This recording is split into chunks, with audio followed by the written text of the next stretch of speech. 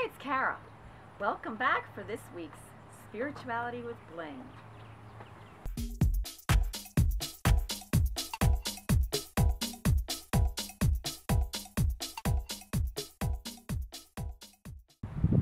This week, I want to talk about why it's so important to keep your vibrational level high and how you can see that play out in your everyday life.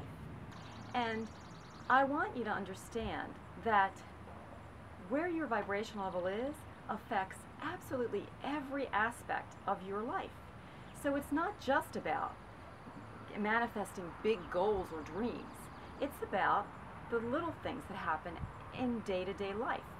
And if you can keep your vibration level high, everything in your life becomes easier. Things happen quickly for you, things come to you easily, it's effortless. You can take the struggle out of your life by keeping that vibration level high. And I have a story to tell you about an example recently of, of what we went through. And it has to do with that generator again that I talked about in last week's video. You know, that storm that hit here on the East Coast hit on a Friday night, almost midnight. So it was really kind of, most people were asleep.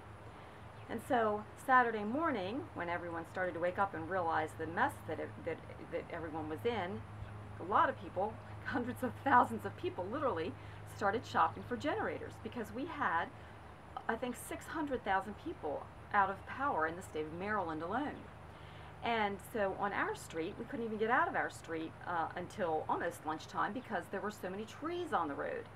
So by the time the road was cleared and my husband went to the store to try and buy a generator, not yet realizing how bad the whole situation was, of course he got to the Home Depot and was told that they had hundreds of people in line that morning to buy a generator and if they only had less than 50 in the store to begin with. So it was at that point that we realized how hard it was going to be to find a generator right now. But we packed ourselves up in the car and started to drive around, mostly to go get coffee, to be honest with you. And we kept stopping at different stores, and, and no one had a generator. And my husband called some family members to see if they had a generator that they weren't using, but no one did. So we continued to drive around, um, and you know, we just generally try and keep our vibrational level high. We both tend to look for the good in things, and we try and stay positive. And that's why I'm sharing this story with you. Because within two hours that day, we got a phone call from a family member who had a neighbor who had this brand new generator, never been used, that we could either borrow or come and purchase from him. And that's what we did. But what makes this even more amazing is that when we did come home that day with the generator, later that day, a neighbor from nearby came by and told us that he had stopped by our house earlier in the day while we were gone because he had an extra generator that he wanted to see if we needed. Now, I'm sharing this story with you because I realized after the fact, really after I let it sink in, that statistically, the, just the idea that we would be able to have access to two generators on that day within hours that morning when there were literally hundreds of thousands of people trying to find a generator to buy or borrow or rent. It's just statistically miraculous that we could have had two generators so quickly. And that's why I'm sharing that as an example so that you can see that when you just live these practices on a regular and daily basis, it comes back to benefit you in so many ways, in ways that you couldn't possibly even have planned for. I mean, we didn't sit around and meditate on a generator, and we didn't, um, you know, we didn't write affirmation statements to get a generator, and we didn't make a vision board for a generator.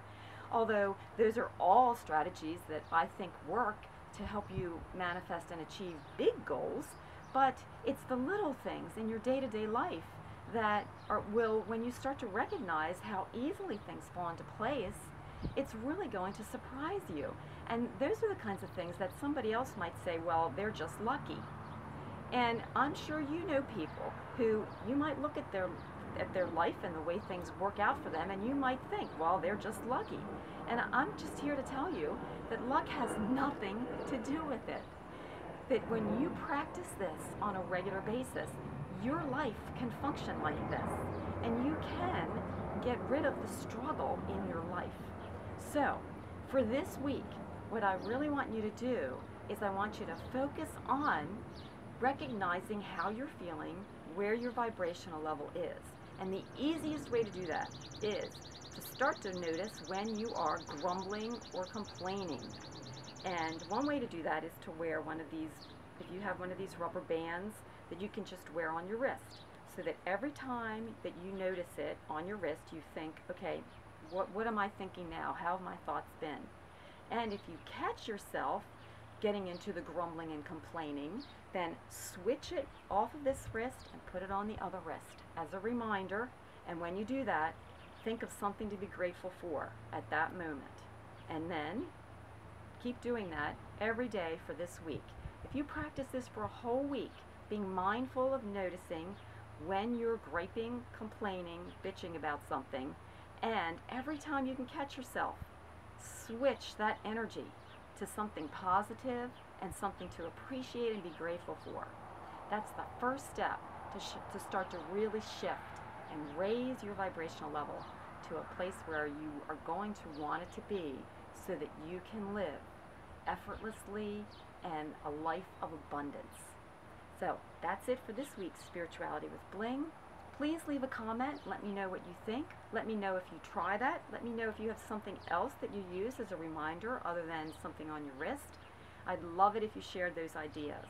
So thanks for watching and have a great week.